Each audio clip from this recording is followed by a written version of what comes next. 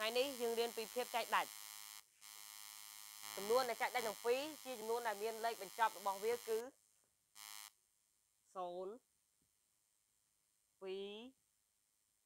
4 6និង8អ្នកគ្នាត្រូវចាំថាចំនួនណាក៏ដោយទោះបីវាមានលេខច្រើនយ៉ាងណាក៏ដោយឲ្យតែមានលេខបញ្ចប់របស់វាគឺ0 2 4 6 8ចែកដាច់ទាំងពីរគឺចែកដាច់ទាំងអស់អញ្ចឹងឧទាហរណ៍គឺ 242និង564និង398ឧទាហរណ៍3លេខហ្នឹងបានណាអ្នកនរគ្នាឃើញអត់ឲ្យតែខ្ញុំថាលេខទាំងអស់នេះគឺចាច់ដាច់ទាំងពីរទាំងអស់ព្រោះអីមាននេះលេខកញ្ចប់របស់វាគឺ2 4និង8អញ្ចឹងយើងយើងយកនេះមកចែកមើលទាំងនៅដាច់ឬអត់ 398ចែកនឹង2កាត់យកប៉ុណ្ណេះដាក់បាន4 4ពីដងស្មើ8ដកមកឃើញ0តម្លាក់9ដាក់បានដាក់បាន4 4ពីដងស្មើ8ដកមកឃើញ1តម្លាក់8មកទៀតមកដាក់បាន9 9ពីដង18ដកមកឃើញ0ហើយអានគ្នាចំនួនដែលមានលេខបញ្ចប់របស់វា8 0 2 4 6 8គឺចែកដាច់នឹង2ទាំងអស់អញ្ចឹងឧទាហរណ៍មួយទៀត564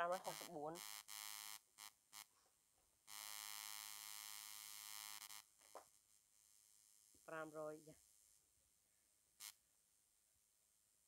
564ចែកនឹង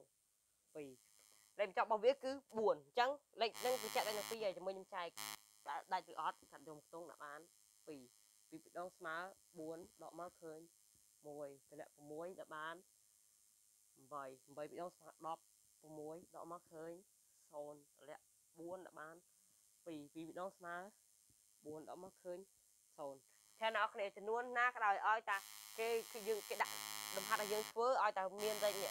0លេខចប់របស់វាគឺ0 2 4 6 8គឺចែកដល់2ទាំងអស់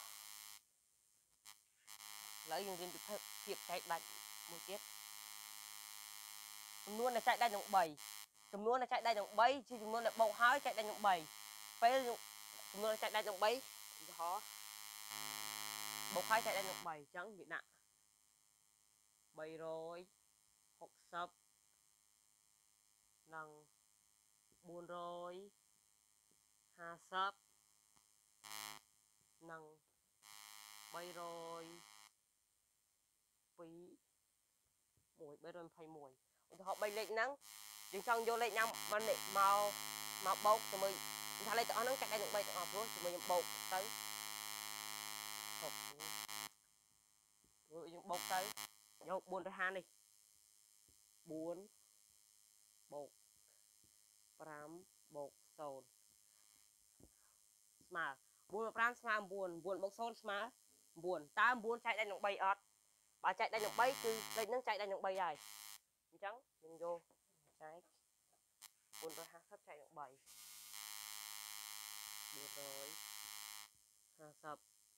ចែកនឹង3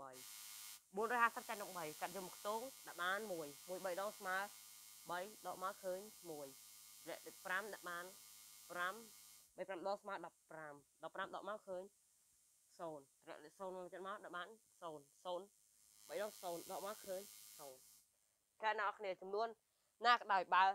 មានបើយើងបូកហើយយើងឃើញ3 6 9គឺចែកដាច់នឹង3ទាំងអស់ចាំមើលខ្ញុំនេះយកឧទាហរណ៍មួយទៀត321យកបូកចូលគ្នា3បូក2បូក1ស្មើ3បូក2បូក1 3បូក2ស្មើ5 5បូក1ស្មើ6 6ចែកនឹង3បានអត់បានអញ្ចឹង យើងយក321ចែកនឹង3អស់ចែកនឹង3ចា321ចែកនឹង3កាត់ដូចមួយដាក់បាន1 1 3ដងស្មើ3ដកមកដកមកឃើញ0 2តម្លាក់ដាក់បាន0 0 3ដងស្មើ0ដកមកឃើញ2តម្លាក់លេខ1ដាក់បាន7 7ដងស្មើ20 1ដកមកឃើញ0ឃើញអ្នកនរគ្នា ចំនួនដែលបូកហើយឃើញ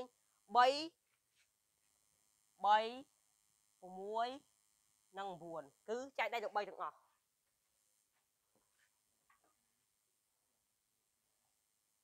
ហើយយើងរៀនពីចំនួនដែលចែកដៃទាំង4ម្ដងចំនួនដែលចែកដៃទាំង4ជាចំនួនដែលមានលេខពីក្នុងខាងក្រោយចែកដៃទាំង4ដូចជាពីក្នុងខាងក្រោយចែកដៃទាំង4និង00អញ្ចឹងដាក់ឧទាហរណ៍ 500និង4 16និង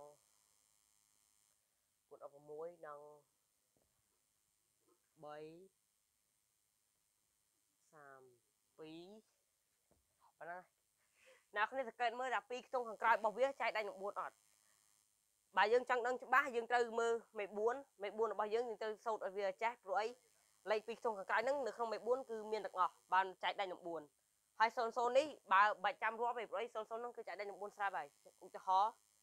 416ដាក់16ចែកនឹង4បានអត់16ចែកនឹង4មាន4ម៉ាត់ដង4 4ដង4 4ដងស្មើ10 6បាន0ឃើញអត់បើយើងចែកដាច់អញ្ចឹង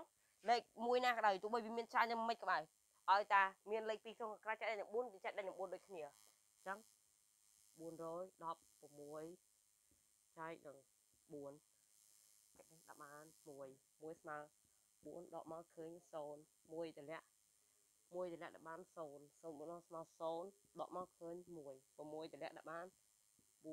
4ស្មើ16អอกមកឃើញ0អ្នកអរគ្នាឃើញអត់ឲ្យតែចំនួនណាក៏ដោយឲ្យតែមានលេខក្នុងមេលេខ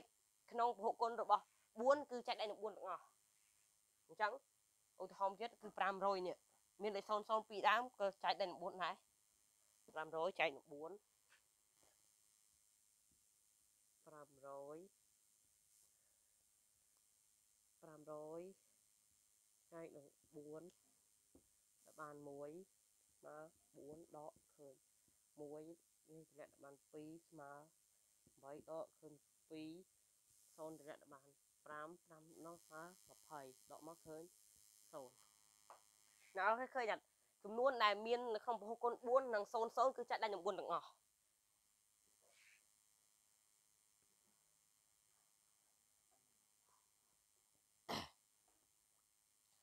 ចំនួនដែលចែកដៃនឹង5ចំនួនដែលចែកដៃនឹង5ជាគឺជាចំនួនដែលមានលេខបញ្ចប់លេខ0លេខ0និងលេខ5ឧទាហរណ៍800 895 700គុតនិង425លេខទាំងអស់ហ្នឹងសិតតែចែកដល់នឹង5បានទាំងអស់ព្រោះវាមានលេខបញ្ចប់របស់វាលេខ5លេខ0និងលេខ5អញ្ចឹងយើងបើយើងចង់ដឹងច្បាស់យើងត្រូវនេះយកនេះ895នេះចែកនឹង5 895ចែកនឹង5កាត់ដាក់ បាន1ប្រដស្មើ5ដកមកឃើញ3 9តម្លាក់ដាក់បាន7 7 5ដកស្មើ35ដកមកឃើញ4ឃើញ0ដាក់5ដាក់បាន9 9ដល់ស្មើ45ដកមកឃើញ0អ្នកអស់ឲ្យឃើញចំនួនដែលមានលេខបញ្ចប់របស់វា5និង0ចាំមើលចំនួន0ម្ដង700នេះចំនួន5នឹងចែកដាច់ម្ដងណាចាំមើល700នេះ700 ចែកនឹង5ខាត់ដាក់បាន1 1ស្មើ5ដល់1 1ស្មើ5ដកមកឃើញ2លាក់0ដាក់បាន4 4 5ដងស្មើ20បកមកឃើញ0លាក់0មកបាន0 0 0ដក0ស្មើ0 140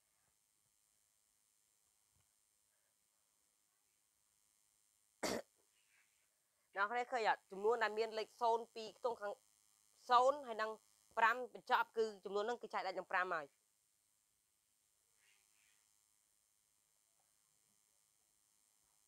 ចំនួនដែលចែកដាច់នឹង9ចំនួនយើងរៀនពីចំនួនដែលចែកដាច់នឹង9ម្ដងចំនួនដែលចែកដាច់នឹង9ជាចំនួនដែលបូកហើយចែកដាច់នឹង9តែចំនួនដែលបូកហ្នឹងគឺមាន9សុទ្ធខុសពីមេ3មេ3មាន3 6និង9តែមេ តែចំនួនដែលចែកដាច់នឹង9គឺចំនួនដែលបូកហើយចែកដាច់នឹង9ទាំងអស់ចែកដាច់នឹង9ចំនួនបូកហើយឃើញ9បានចែកដាច់នឹង9ដែរអញ្ចឹងឧទាហរណ៍ឧទាហរណ៍អឺ8 8 1 9និង2 2 5និង7 2 9ឧទាហរណ៍របស់ខ្ញុំមាន3ហ្នឹងអញ្ចឹង ខ្ញុំថាលេខទាំងអស់ហ្នឹងចែកដាច់ទាំង9ទាំងអស់ព្រោះវាបូកទៅយើងយកនេះ8 819នេះបូកចូលគ្នា300 1 8បូក1បូកនឹង9ស្មើ8បូក1ស្មើ9 9បូក9ស្មើ18 18បូក1បូក8ស្មើ9អញ្ចឹងឃើញបូកទៅឃើញ9គឺចាក់ដាច់នឹង9ហើយអញ្ចឹងយើងសាកចែកមើលថាចែកដាច់នឹង9អត់819 819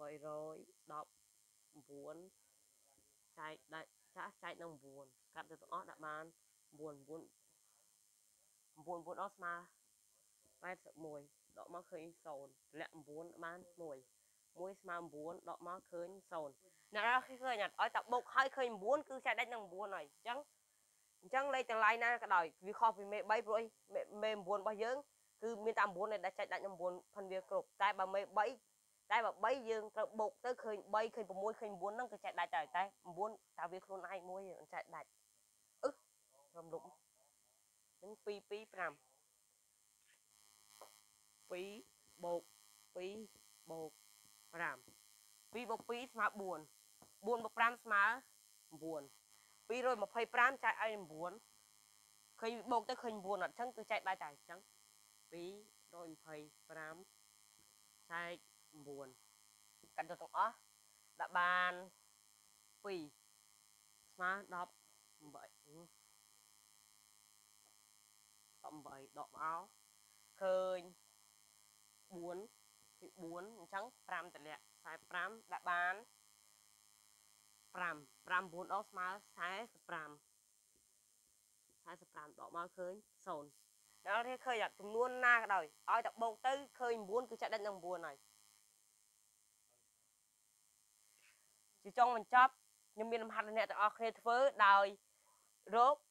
ចំនួនដែលចែកដាច់នឹង2ឲ្យបាន20ចំនួនដែលចែកដាច់នឹង3ឲ្យបាន20ចំនួនដែលចែកដាច់នឹង4ឲ្យបាន20ចំនួនដែលចែកដាច់នឹង5ឲ្យបាន20និងចំនួនដែលចែកដាច់នឹង9ឲ្យបាន20ហើយរកលទ្ធផលរបស់វាបានអ្នកទាំងអស់គ្នាចែកដាច់ទាំងអស់គឺអ្នកនរគ្នាធ្វើយល់ហើយបើអ្នកនរគ្នាចែកដាច់គឺអ្នកនរគ្នាមើលវីដេអូសារថ្មីទៅ